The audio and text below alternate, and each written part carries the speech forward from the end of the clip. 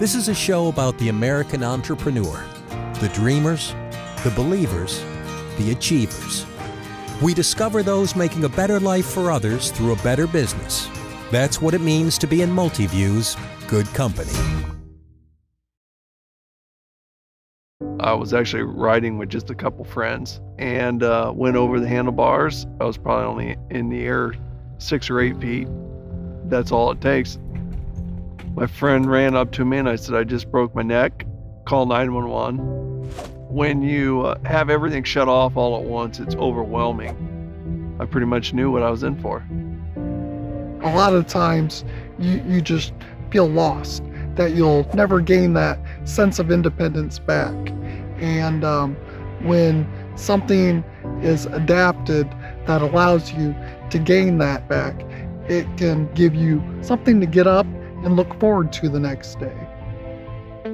Welcome to Columbia City, Indiana, a quiet town in the American heartland that's home to Be Adaptive, a small company making big changes for the disabled. Be Adaptive Equipment is a adaptive uh, equipment manufacturer.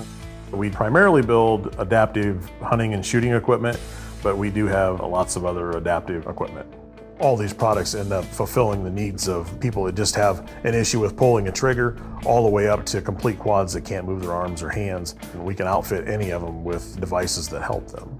I didn't start Be Adaptive Equipment with the intentions of starting a business. I made the first piece of equipment for Eric and seeing how it touched his life and how much of a difference it made. And it was just fun to be involved in that. So I never approached it as, oh, this is, a, this is going to be something I'm going to make a lot of money with. Before there was Be Adaptive, there was just two guys in the beginnings of a friendship. Brian, a self-taught engineer, just wanted to help a buddy out.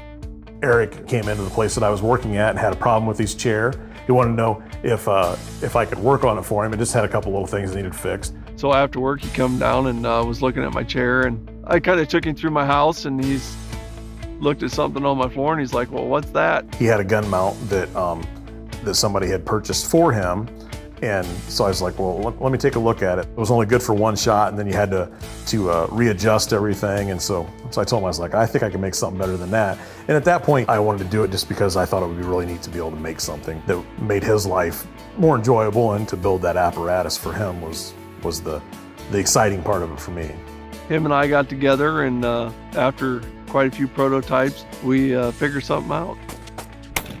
Brian saw how much Eric enjoyed his reclaimed independence. It was then he knew there must be more people out there that he could help too. I started Be Adaptive Equipment in 2002, just in my garage that I had at home.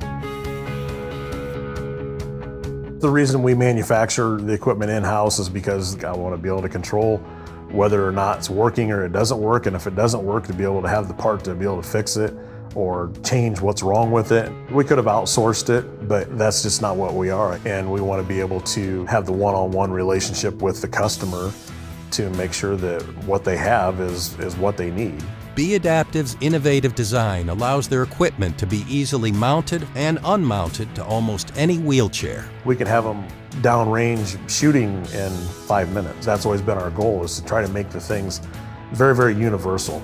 We have a limited mount for people that's got some ability. And we have the high quad for people that have less ability. And both of them work for each person, so that's pretty cool. With limited mobility in mind, operating the mount took some ingenuity so that no matter their ability, anyone can use it. A simple joystick is used to position the mount. When ready to fire, the user applies suction to a small tube which activates a pneumatic trigger device. One of the challenges that Brian had to overcome was finite aiming. When you have a high quad and a gun's actually sitting out in front of you, it's hard to look through a regular rifle scope. So the, the monitor that we have allows them to look at the screen, see what's going on in the scope. Now all they have to do is line up the target and fire when ready. The final obstacle is getting a recoiled gun back into position. It does have a, what we call a recoil compensation built into it. It's got two hydraulic dampeners on it. It can recoil up and come back down. With the gun mount, I'm a better shot now than I was before my accident. It's a pretty awesome piece of equipment. Brian and his wife Renee know that it isn't really the shooting that's important, but rather it's the self sufficiency that makes all the difference. I do think our products are used a lot with recreational therapists in VA hospitals and occupational therapists. And I know that sounds weird that shooting a gun can be therapy, but the therapists tell us if they can find something that they can get the guys passionate about and that they enjoy, that it really does help. From the first day of shooting, it, I was hooked on it. I did a lot of hunting and shooting, and um, just being able to do that again when I thought all was lost for good, that was really special. We can't take them out and get them a trophy deer, but we can give them the ability to go out and participate and do what they want to do. When you gain a little piece of that back, it really gives you a good sense of satisfaction. Brian and Renee get plenty of calls to help rebuild lives. But every so often, that voice on the other end of the line is looking to build one last memory. Just the other day, Renee, she came to me, and it's the kind of stories we hear all the time. That a 13 year old little boy has got brain cancer. He's terminal. He knows he's terminal, and he wants to. Uh, he actually wants to. I'm gonna not make it through this. He wants to go on a hunt.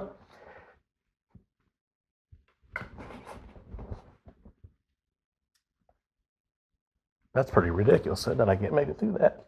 That's not ridiculous. I don't think I'm gonna make it. I'm not gonna make it it. He wants to hunt. Yeah, it's crazy. We deal with this every day, and I don't sit around and cry like a baby every day about it. But this one's been pretty rough on me, really, for some reason. My oldest son, Jacob's 14.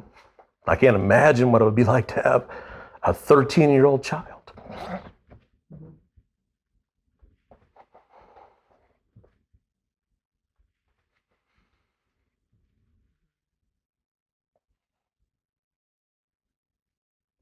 So, anyways, we're, we're going to send the equipment because he's he's weak enough now that he can't hold the gun up. So we're going to send a gun mount for him to use to be able to go on this hunt.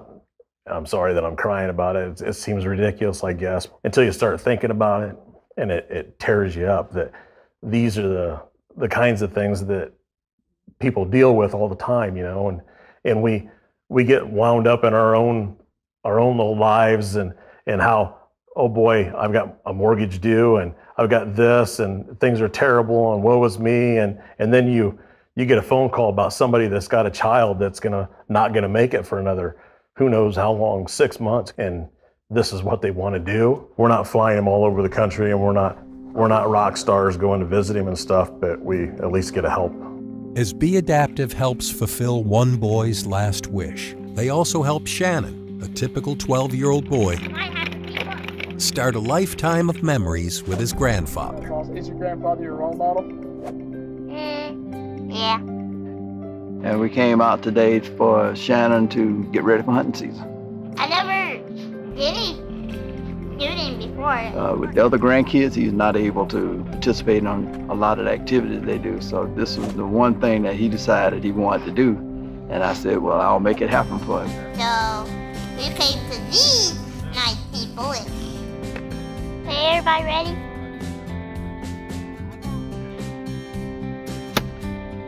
And this is fantastic. This is something that'll get him outdoors, and it's it's a new experience, and it's exciting. I am really looking forward to doing more shooting. Me and my papa got a lot of deer. You could just see a light go on when they try that equipment for the first time. It's just neater and crap. Give them something back that was taken away, or maybe the first time they've been able to do this, and they just really enjoy it. Uh, I mean, I'm really happy that I get to be just like my papa. When I found out about Be Adapted, uh, that they were a blessing.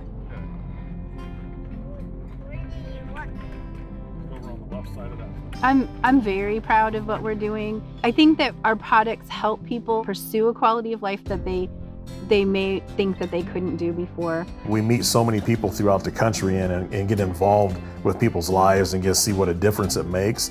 That, that that's the most rewarding part of the whole thing is the people that we have met over the years.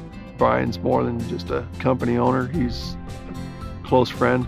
I know if I, I need something, he's going to help me out. So, you know, just to have friends and family that are willing to help you it gives you a better outlook on life.